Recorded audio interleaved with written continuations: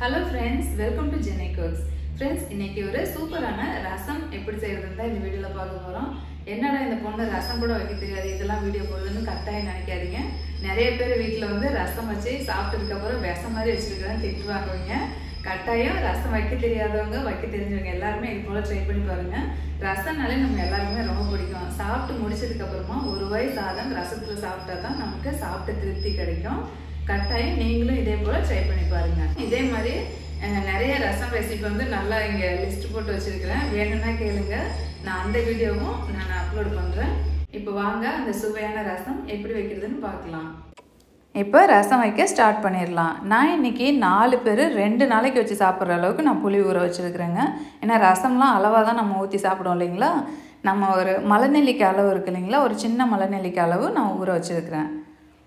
நல்லா வெது வெதுப்பான தண்ணியில் இந்த புளியில் ஊற்றி ஊற வச்சிங்கன்னா ஒரு பத்து நிமிஷத்தில் நல்லா ஊறிடும் நான் இன்றைக்கி புது புளி தான் இருக்குது அதனால் இந்த புளியில் செய்கிறேன் பழைய புளி இருந்ததுன்னா இன்னுமே ரசம் வந்து நல்லா டேஸ்ட்டாக இருக்கும்.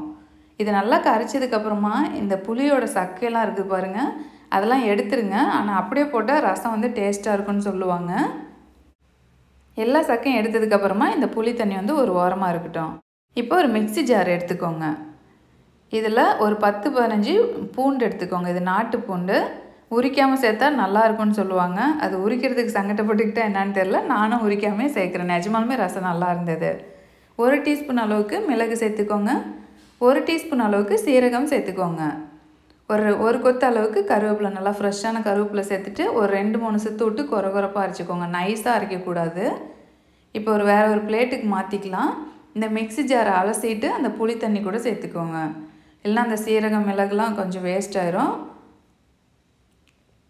இப்போ இந்த புளிக்கு வந்து ஒரு ஒரு லிட்டர் பக்கம் நான் தண்ணி நான் சேர்த்துருக்குறேன். இப்போ ஒரு பாத்திரம் அடுப்பில் வச்சு சூடு பண்ணிவிட்டு ரெண்டு டேபிள் ஸ்பூன் ஆயில் சேர்த்துக்கோங்க. ஆயில் நல்லா சூடானோடனே அரை டீஸ்பூன் கடுகு போட்டு நல்லா பொரிய விடணும். கடுகு பொரிஞ்சதுக்கு அப்புறமா தான் நீங்கள் வெந்தயம் வந்து ஒரு கால் டீஸ்பூன் சேர்த்துக்கோங்க. வெந்தயம் வந்து நல்லா கோல்டன் ப்ரௌனாக வரணும். அதுக்கப்புறமா ரெண்டு மூணு வரமிளகாய் போட்டு அந்த வரமிளகாய் நல்லா பொரியணும். எல்லாமே சிம்லே வச்சு பொரிச்சுக்கோங்க. இப்போ ஒரு கொத்து கருவேப்பிலை போட்டுக்கலாம். இப்போ ஒரு தக்காளி கட் பண்ணி இது கூட சேர்த்துருக்குறேன். தக்காளி வந்து நல்லா சாஃப்டாக கூல் பதமாக வதங்கணும். அப்போ தான் ரசம் வந்து ரெண்டு மூணு நாளைக்கு வச்சாலும் அதோட டேஸ்ட் மாறாமல் சூப்பராக இருக்கும். இப்போ தக்காளி நல்லா சாஃப்டாக வதங்கியாச்சு. இப்போ சீரக மிளகுலாம் அரைச்சி வச்சேன் இல்லைங்களா அதை சேர்த்துக்கலாம். ஒரு கொத்து அளவுக்கு மல்லி இலை இது கூட சேர்க்கணும் கட்டாயம் சேர்க்கணும். பெருங்காயத்தூள் வந்து ஒரு கால் டீஸ்பூன் சேர்த்துக்கிறேன். இது சும்மா இப்படி ஒரு கலரு அப்படி ஒரு கலர் லைட்டாக இந்த மாதிரி வதக்கி விட்டுக்கோங்க. அவ்வளோதான் ரொம்ப வதக்கணும்னு அவசியம் இல்லை. சீரக மிளகு சேர்த்துட்டு சும்மா நாலஞ்சு வதக்கு வதக்கலாம் சிம்லேயே வச்சுட்டு. இப்போ நம்ம கரைச்சி வச்சுருக்கிற புளி தண்ணி இது கூட சேர்த்துக்கலாம். நான் இப்போ வந்து ஒரு லிட்டர் புளி தண்ணி இருக்கும் இது. இப்போ பாத்திரத்தில் சேர்த்ததுக்கப்புறமா உப்பும் இதுக்கு தேவையான அளவு சேர்த்துக்கோங்க. மஞ்சள் தூள் ஒரு கால் டீஸ்பூன் அளவுக்கு சேர்த்துக்கோங்க. இப்போ நல்லா கலந்து விட்டாச்சு. கலந்து விட்டதுக்கப்புறமா இப்போ அடுப்பு வந்து கொஞ்சம் ஹை ஃப்ளேமில் வச்சுக்கலாம். இன்னும் கொஞ்சம் மல்லியெல்லாம் நான் மேலே போட்டுக்கிறேன். ஏன்னா மல்லியில் இருந்ததுன்னா ரொம்ப நல்லாயிருக்கும் ஃப்ரெண்ட்ஸ் நீங்கள் ஜெனிகிப் சேனலை இது வரைக்கும் சப்ஸ்கிரைப் பண்ணலாம். மறக்காமல் சப்ஸ்கிரைப் பண்ணிக்கோங்க. பக்கத்தில் இருக்கிற பெல் ஐக்கனை கிளிக் பண்ணிட்டு ஆளுன்ற ஆப்ஷனை கிளிக் பண்ணுங்கள் அப்போ தான் நான் போடுற வீடியோ உங்களுக்கு உடனே வந்து சேரும்.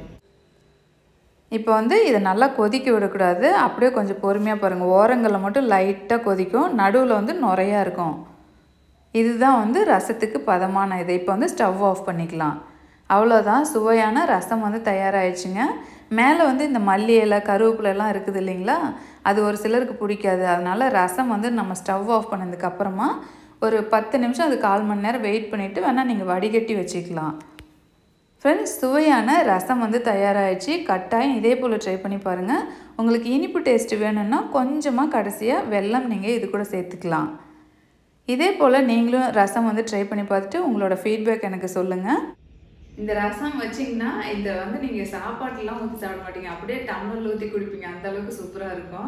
ஃப்ரெண்ட்ஸ் இப்போ பார்த்தீங்களா சுவையான ரசம் வந்து தயார் பண்ணிட்டேன் இதே போல் நீங்களும் ட்ரை பண்ணி பார்த்துட்டு எப்படி இருக்குன்னு மறக்காமல் எல்லாருமே கமெண்ட் பண்ணுங்கள் இந்த வீடியோ பிடிச்சிருந்தா இதுக்கு ஒரு லைக் கொடுங்க. உங்கள் ஃப்ரெண்ட்ஸ் அண்ட் ஃபேமிலி கூட மறக்காமல் ஷேர் பண்ணுங்கள் தேங்க்யூ பபாய் ஏன் சொல்ல பாய்ன்னு